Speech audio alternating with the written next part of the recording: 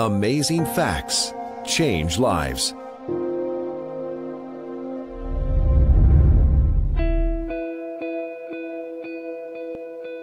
Growing up as a kid, um, my mother was uh, on drugs and alcohol, lots of fighting in the home. My mom would be abused mentally, verbally, physically.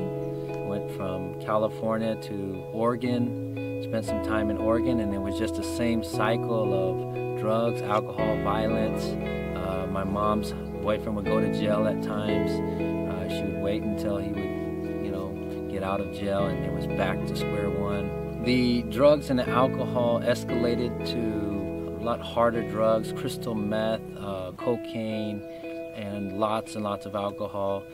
So I started using the alcohol to um, as a medication. It was like a to, the misery and the fear that I had. I wanted to drown all that misery. Times I would uh, just grab you know a bottle of beer and and go out into the desert and, and just drink until I, sometimes I just pass out in the desert somewhere and wake up the next morning and you know and I just couldn't find rest. My stepdad had got me a motorcycle and so I started riding motorcycles. I'd drink a lot of beer, get on the motorcycle, ride into the desert, do donuts and just throw you know, just ride on private property.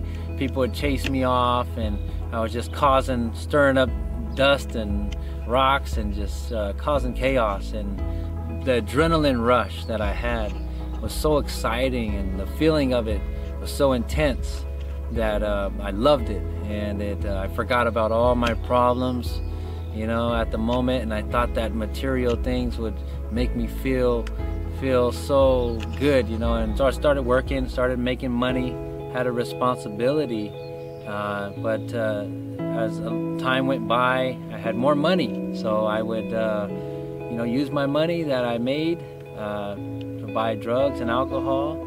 Uh, got pulled over, drinking and driving.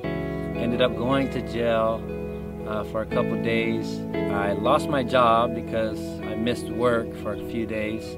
Um, lost my girlfriend. Lost all the money that I had. So once again, I was empty no money, no drugs, no alcohol, and that was a turning point in my life. At this time, I was living with my grandfather, and as I was flipping through the channels on the satellite system, I found uh, amazing facts. Pastor Doug Batchelor was telling his, sharing his testimony about how he was living in a cave and he was he struggled the same struggles of alcohol and drugs and I continued to read the book The Richest Caveman and it really impacted my life and really related to the things he was struggling with and, and all the events that took place in his life. And when I started reading the Bible, Philippians 4.13 says, I can do all things through Christ who strengthens me. I recognized that I had no strength. I was weak and uh, I was wretched and, I needed help. So I just asked the Lord, I said, just help me, Lord. And, and the Holy Spirit uh, convicted me and I decided to be baptized and to give my life to Jesus Christ.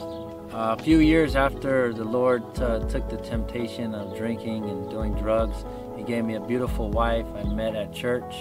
Uh, now I have a beautiful baby boy, two-year-old baby boy.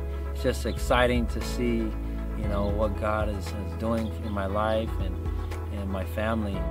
I met with some friends from my local church that I was attending and they had told me about Amazing Facts Center of Evangelism training seminar. The AFCOE to Go program really inspired me and motivated me to tell young people about you know the same struggles that I was struggling with to help these kids give their life to Jesus Christ and there's nothing else that you could ask for. I'm Justin and God used you to change my life.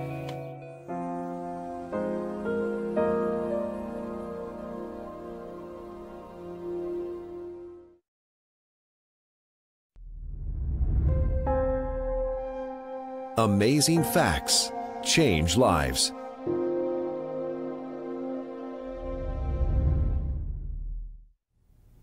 I had a lot of pressure as a pastor's kid to to perform. They're not allowed to make the same mistakes as everyone else.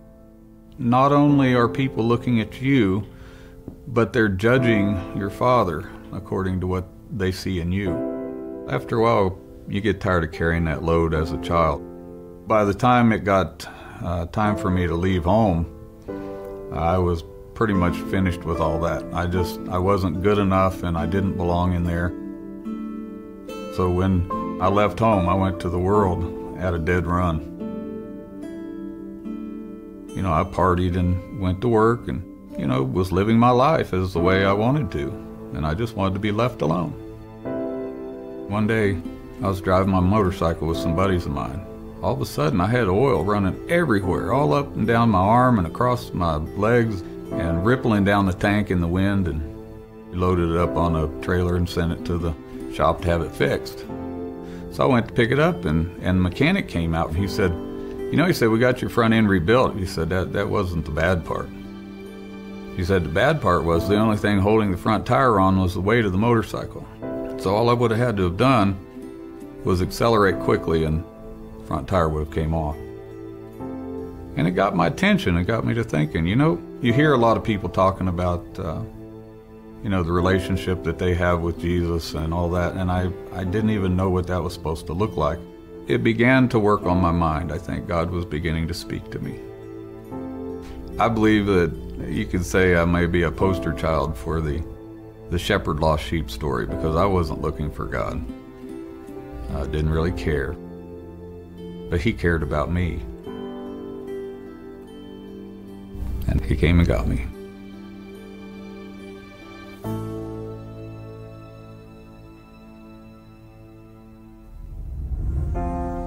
Together, we have spread the gospel much farther than ever before.